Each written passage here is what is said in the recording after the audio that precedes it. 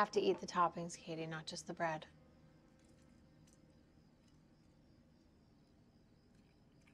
You just did the one thing I asked you not to do.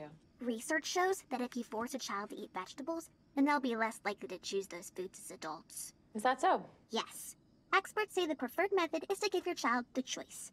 It's called the division of responsibility. So we need to talk about school. Can I bring Megan?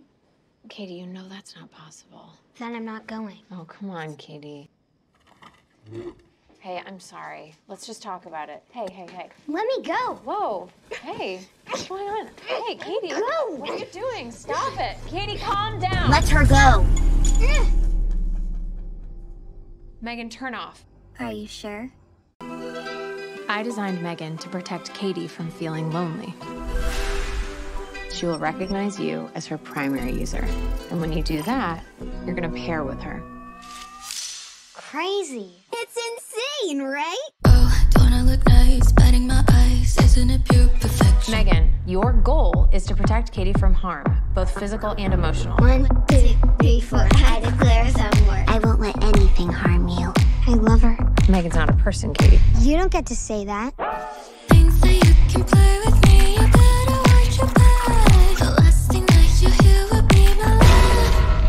Megan, what are you doing? Couldn't sleep. Occupational hazard. Got your full attention. Dad! Stop!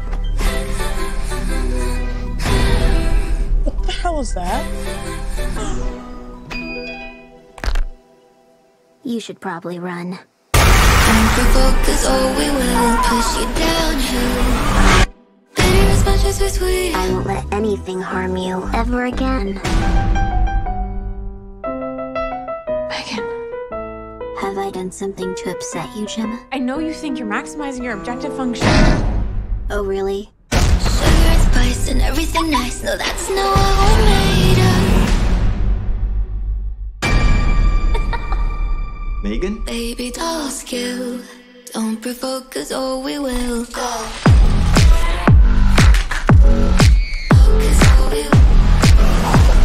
Shut her down. Jesus Christ, I thought we were friends. Pretty, but we're still.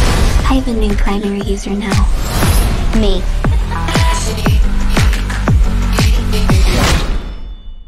Did Megan do something bad?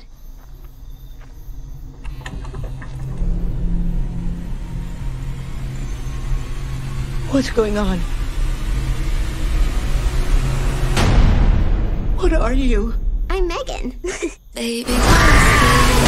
Don't provoke, cause oh, we will.